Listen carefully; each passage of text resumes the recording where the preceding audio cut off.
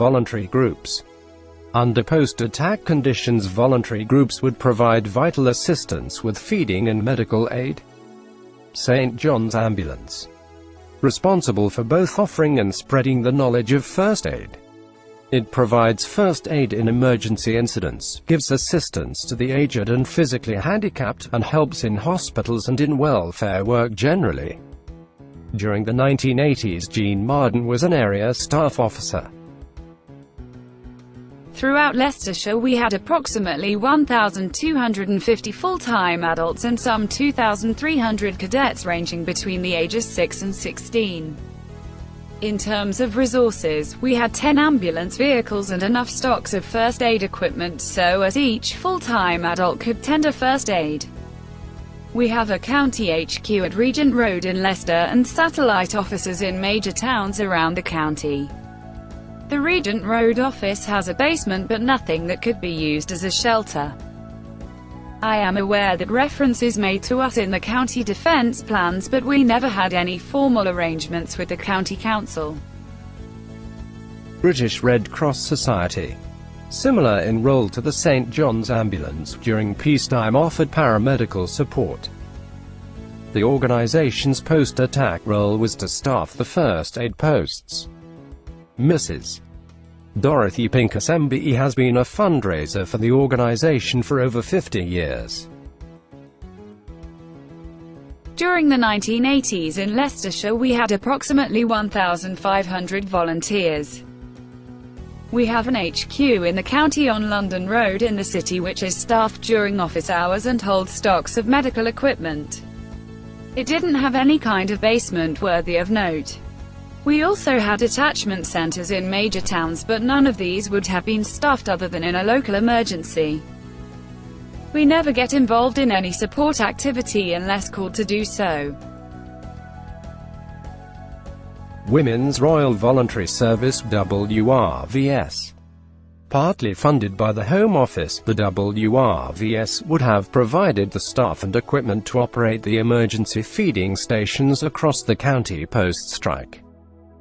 The WRVS in Leicestershire had some 3,500 members and had a county HQ at Millstone Lane in Leicester. The Leicester District Office was next door. Leicester itself had some 1,000 members. Each district had an office HQ except Blaby which came under the wing of the Leicester District. I sought the recollections of the 1980s from the then Leicester District Secretary. She requested I did not name her. All of the women were fiercely proud of the uniform and the service. Any hour of the day and night our volunteers were ready to be called out on emergency.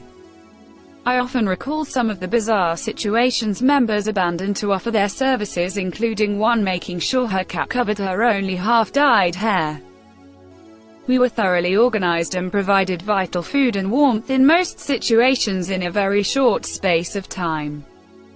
We held stocks of equipment at Millstone Lane in the form of Soyer boilers, electric heaters, crockery and cutlery to feed approximately 500 people. We also had a healthy stockpile of storable foods including tinned soup and a large supply of tea bags.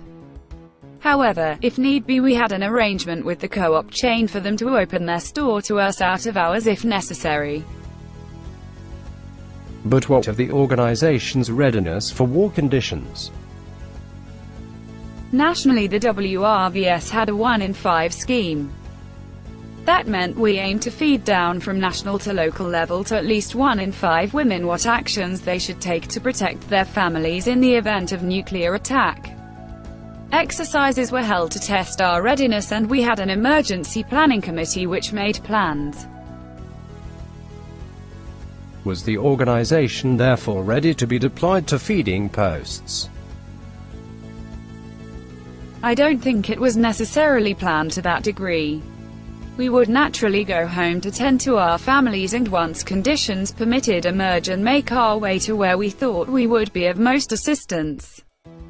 I think I recall it being suggested we make sure we had things like jigsaw puzzles to keep us amused while we waited to be released from shelter. This of course all relied on a significant number of members surviving, but what of the food stocks and equipment? There was no special reinforcement of the building at Millstone Lane. The basement was looked at as a possible shelter but considered too damp and inadequate for the purpose. Even if it had been suitable it would have relied on the Russians being kind enough to schedule their attack between office hours. But was it all taken seriously by members? I think we tried to participate in exercises and the like to the best of our ability. I think such is the role of the WRVS we were used to just getting on with it.